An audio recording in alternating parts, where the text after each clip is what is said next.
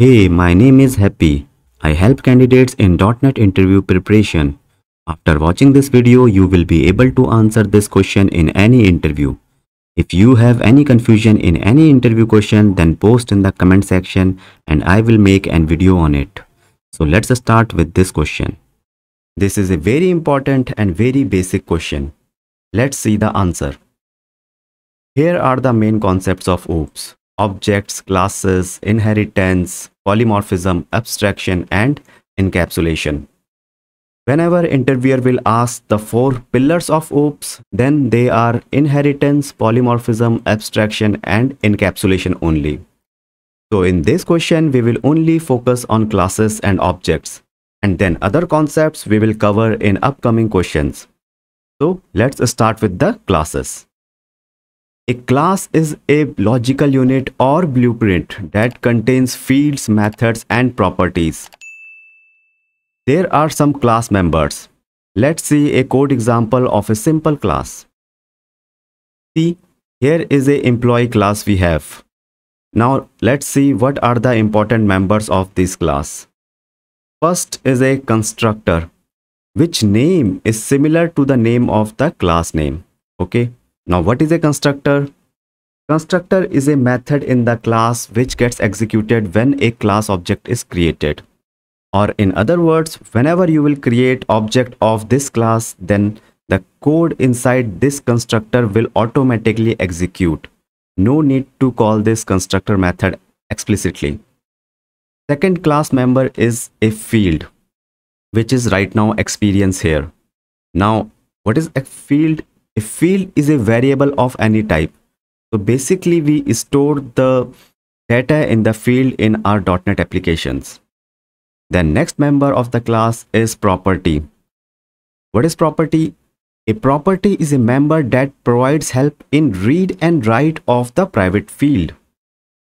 Why we need property when uh, we have field and why we need property to access fields? This is because of encapsulation and that we will cover in upcoming question. What, uh, that the question will be what is encapsulation we will discuss later. Now next important member of class is the method which is right now calculate salary here. So what is method? A method is a code block that contains a series of statements. Or you can say that all the business logic of your application will be placed inside the methods only. Uh, remember, properties and methods are same.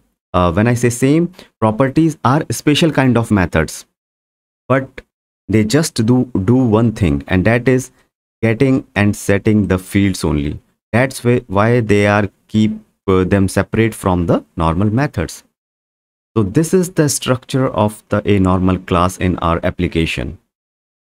Now the question is how can we use this class in our application? We have a class okay this is the blueprint.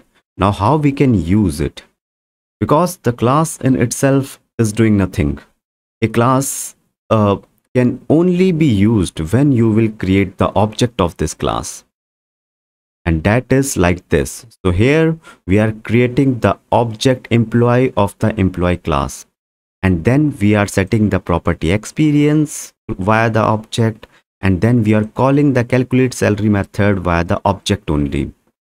So what is the object? An object is an instance of a class. So if you want to use an a, a class in your application then you have to create its object now let's see the same thing in the code. So here is a small console application which have the same code. If you can see this is the employee class constructor field property and the calculate salary method. Now we have just created the object of this class and have uh, set the property and call the calculate salary method if we will not create the object of this class like this then this class is of no purpose.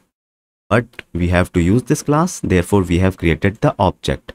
And when this calculate salary method will run it will just uh, will give this output. Experience into 300,000 or 3 lakhs.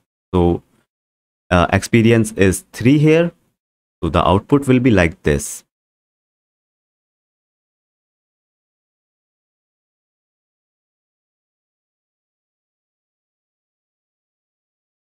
Output will be 900,000 okay?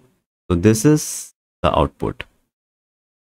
Now one important thing is this field and this property. Now you can write in a single line which is like we can just prop and double tap and then we can uh, this experience. Okay so now this single line of code is doing the same thing which a line of field and multiple line of properties were doing. So this is the short form which is uh, nowadays or you can say should be used. So this is uh, nothing else but the short form of this code. Okay, so let's see the definition one once again. So a class is a logical unit or blueprint that contains fields, methods and properties and a object is an instance of a class. So that is the answer of this question. Let's see the another questions in upcoming videos.